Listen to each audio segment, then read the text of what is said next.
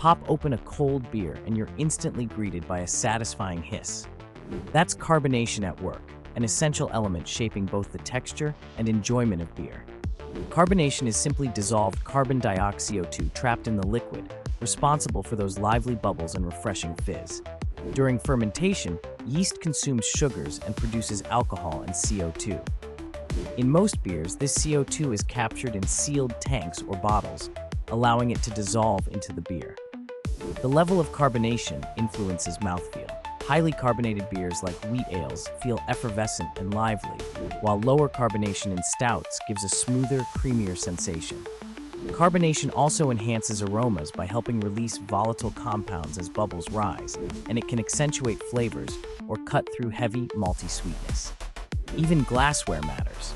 The right glass helps maintain carbonation, ensuring every sip is perfectly lively. Different beer styles have unique carbonation levels tailored to their flavor profiles, making carbonation a key part of the brewing craft.